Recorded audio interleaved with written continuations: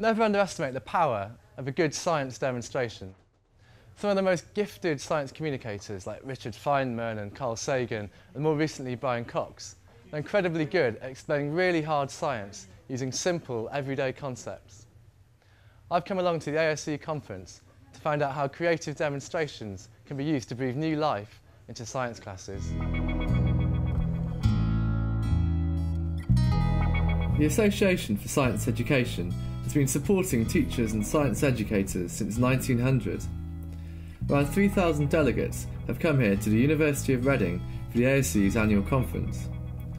Over three days they will explore the latest creative ideas in science education, particularly through simple demonstrations and collaborative workshops. It's amazing how slowly you can do the, the water and the water doesn't come out basically this is tonic water um, and I hope you, you know that tonic water fluoresces in ultraviolet light but it also fluoresces very nicely at 405 nanometers. Every physics lab should have an electric guitar in it and this is just quite a nice one because if you've got a, a, a laser and if you want to show interference all you, all you need to do is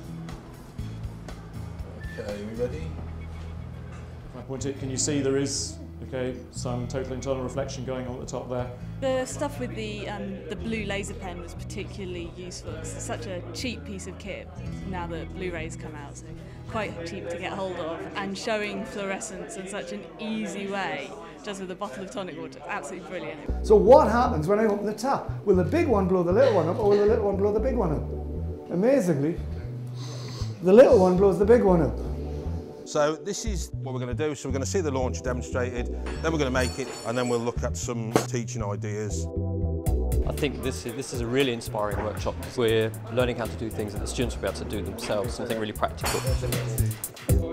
What, what we're hoping is that the teachers will go away with a piece of kit that they could use literally the next day that will inspire the kids and make the teaching of, of speed and motion a little bit more exciting.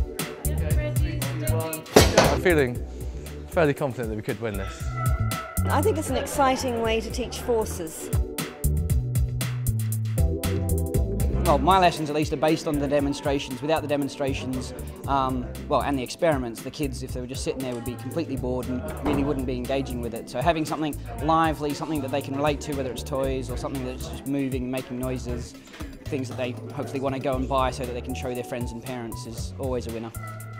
What I've got is a some wadding in here, soaked in, in paraffin.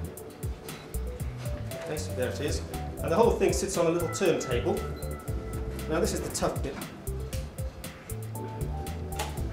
Right, okay, let's see if that works.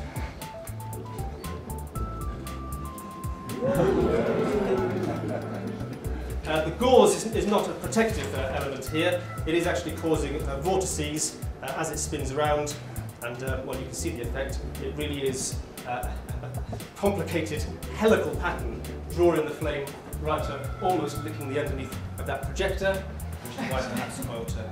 it's all very well doing theory, but until you've sort of interfered with the universe and, and you know actually done something, stretched it, pulled it a little bit, then you don't really know how it reacts. So I think you know, practical is crucial to science.